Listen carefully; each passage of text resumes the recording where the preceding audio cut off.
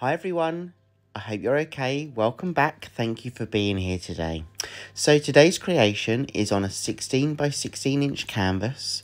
I'm using a black base, a cookie cutter to do an open cup, and some greens and gold. And the intention is to recreate the Aurora Borealis, or better known as the Northern Lights. I hope I said that right. So first of all, I'm going to get the black base down. I'm going to put my cookie cutter on top of the black paint and then fill my cookie cutter up with the colour palette that I've got. All the colours are listed in the description box below with the name and the brand. So check that out if you'd like some more information. I'm really excited to do this, so let's crack on with the process.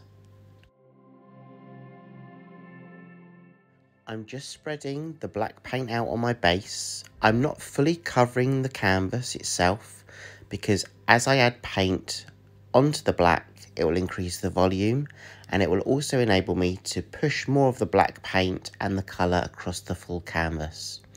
So my black paint is mixed with Floetrol, so a pouring medium, one part paint to three parts Floetrol, as are all of the colours in the colour palette and my black paint is slightly thicker because as I layer the cup, my cookie cutter with the greens and the gold, I want that paint to really go underneath the black paint. So when I stretch it out, it will appear and pop through.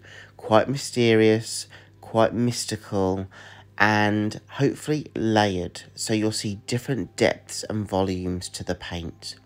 So I'm going to take the paint one by one add some paint into the cookie cutter and then repeat that process. Once the cookie cutter is filled up with the paint, I'm then going to slightly move the cup by lifting it up and down. But first of all, let's get the paint into this cookie cutter first.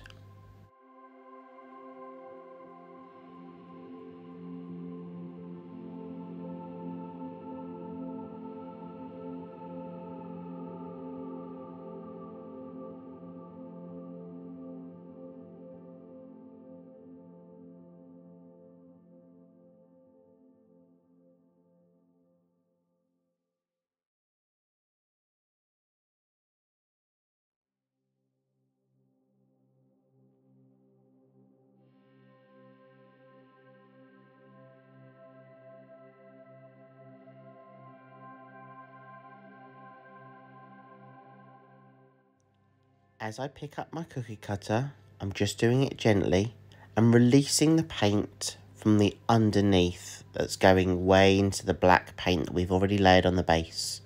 So you'll see the volume of the paint in the cookie cutter decrease and go down. That's releasing from the bottom into the black paint itself. So I'm just going to do that a couple of times to reduce the volume of the paint that we've already layered in the cookie cutter and then I'm going to repeat that process again. And what I'm going to do is I'm going to take one colour at a time and add it back into the cookie cutter. So again, I'm using my gold and my green colour palette. Just adding a little bit of paint in at a time, one by one, and then I'll move the cookie cutter further along the canvas. And then what we'll do is we'll stretch it out even further and that's when we're going to really see those colours really kind of pop through on that black background. I can't wait for you to see how this transforms.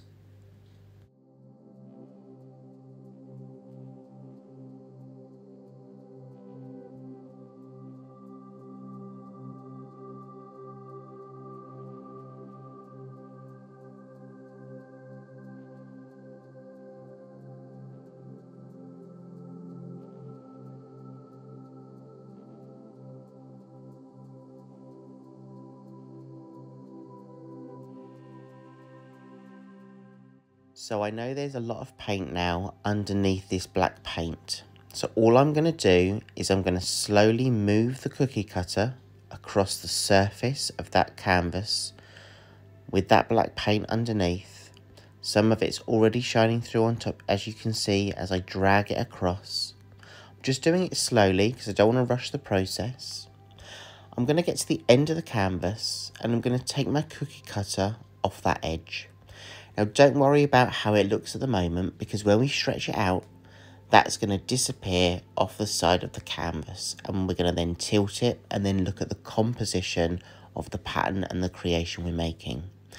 There are some bubbles in there, some air bubbles, and I'm going to just pop those now before I stretch this piece out. And I always pop my air bubbles with my butane torch. So I can see all the paint underneath there. Let me just take you in for a quick view. You can see some of it already peeking through from that black base. And there's obviously some, some paint there that I'm going to push off. So now the fun part.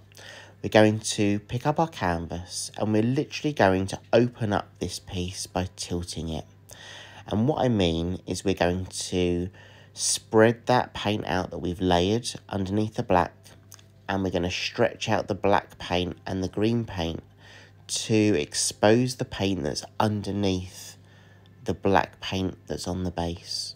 And that's going to reveal all those colours, but it's going to reveal it quite uniquely in terms of depth because you're going to see all different tones really appear as you stretch it out.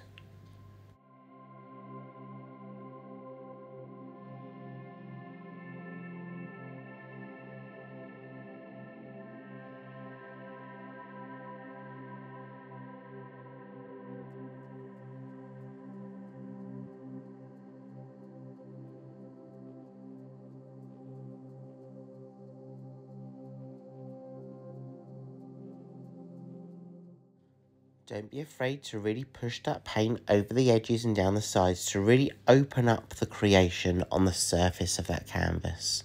So can you see here, I'm just tilting from side to side. I'm covering the full base of that canvas now with the paint that we've already, la already layered. I've not added any more as a flow extender or anything like that. I'm literally stretching out the paint I've already got. And you can see that there's some depth to this piece already. I can't wait to take you in for a closer look so you can see all that detail.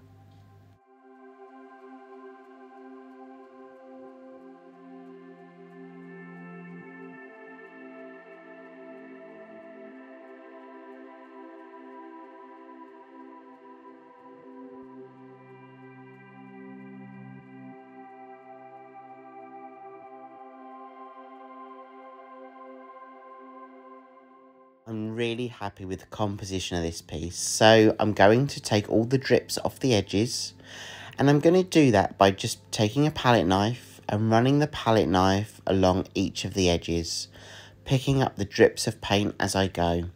I do that so it doesn't pull the design further off the surface, down the edge and off onto the table. It shouldn't really do much of that anyway because the table that I'm using is a straight table, it's fully balanced, it's a flat surface. But if you remove the drips as you go, that's going to minimize any movement on top of the piece too. I'm just going to finish off by popping any air bubbles and bringing any cell formations through using my torch. And then what I'll do is I'll take you in for a close-up so you can see some of that detail. And here we go. Let's go in for a close-up now. And I'm going to show you some of that detail. And you can see by layering it underneath the thicker black paint, we've been able to create some depth to this piece. And I really feel that I've the intention that I set out to do with the Northern Lights is something that I've been able to recreate here.